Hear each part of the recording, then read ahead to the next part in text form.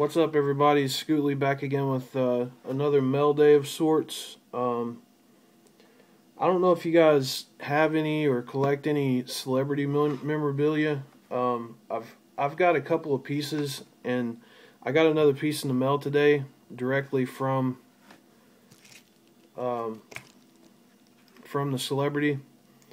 So I thought I would show it and just kind of explain about it a little bit.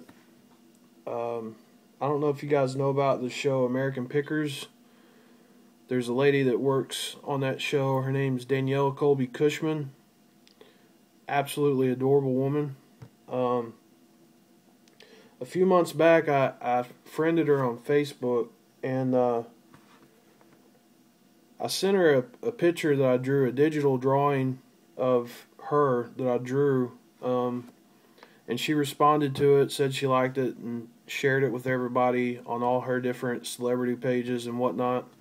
So that was really cool of her to do. Um, but a few months ago, probably five or six months ago, she posted up a fundraiser for her dad because her dad, I believe, has leukemia.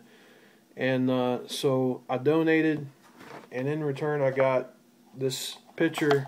Her dad's actually a photographer, and so he took this picture of her and uh, so this is Danielle. You can see she signed my name up here at the top. And then her signature's down here on the bottom. So she sent that out to me for donating. That was really cool. Um, then today I get this CD in the mail. Um, she was, I guess, chosen or she did a photo shoot, and these people decided to use one of the photos uh, for the cover of their album. The uh, the group is called Farmageddon Records, and so she's on the cover of their album. And this was sent to me today. If you open this up, there's a sleeve in here that comes out. If I can get it.